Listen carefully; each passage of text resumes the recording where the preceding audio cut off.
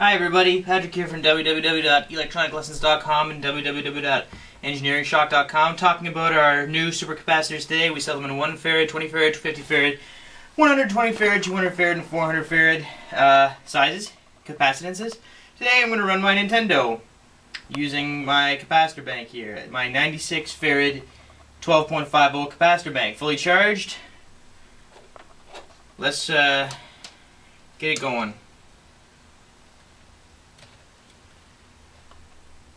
As you can see, 12.37 volts.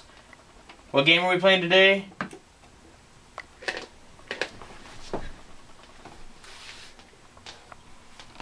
Double Dragon 3.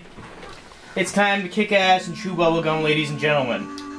So look at the uh, look at the multimeter, if you will, for a second. I'm pretty sure we could beat this entire game using this using the energy in this capacitor bank.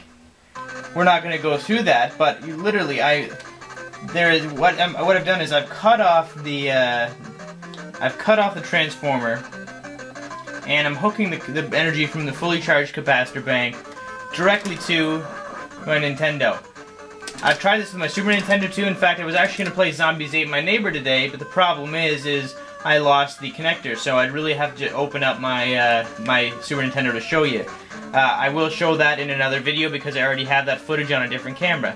So notice my, we're, we're down about about 200 milliamps from when we first started, and I'm still going strong. I might not survive the game long enough. But anyway, uh, just wanted to uh, show off my supercapacitor bank. Haven't come up with a great name for it yet, but we're down to 12 volts. I'm going to stop playing, literally.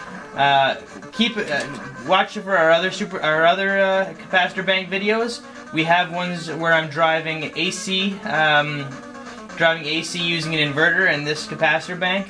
Got all sorts of different ones. So we're driving motors. We're gonna have a lot of fun with these. They are energy storage of the future, if you ask me. They can be charged with solar. Uh, all sorts of great stuff is going to come from these things, and trust me, this is not the last you're going to see these videos.